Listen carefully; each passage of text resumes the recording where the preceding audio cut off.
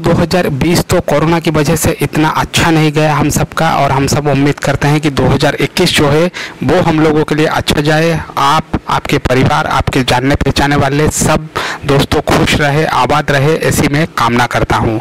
दोस्तों, होली बहुत ही जल्द आने वाली है और मार्च के 28 या और उनतीस तारीख को होली आ रही है। ऐसे में दोस्तों, होली के सेलिब्रेशंस पर तो रोक लगा दी गई है, जहाँ तक मैं सुना हूँ दोस्तों, क्योंकि कोरोना के केसेस फिर से भारत में धीरे धीरे बढ़ रहे हैं। वैसे आप लोग कमेंट करके ये बताइए कि आप लोग भारत के किस शहर में रहते हैं और आपके वहाँ पे कोरोना की स्थिति कैसी है? ऐसे में अगर बात करें सीआईडी की होली सेलिब्रेशन के बारे में तो हो सकता है आपको सीआईडी के जो स्टार्स हैं, उनके इंस्टाग्राम पेज पर होली सेलिब्रेशन की कुछ तस्वीरें देखने को मिल जाए या फिर कुछ शॉर्ट वीडियोस देखने को मिल जाए, जैसे कि अभिजीत और तारिका जो है, उनका एक डांस परफॉर्मेंस आपको देखने को मिल सकता है।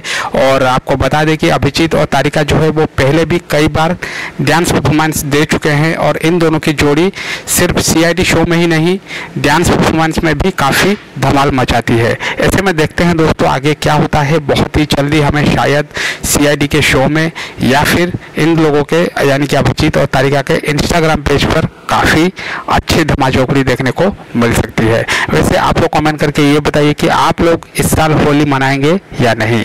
धन्यवाद।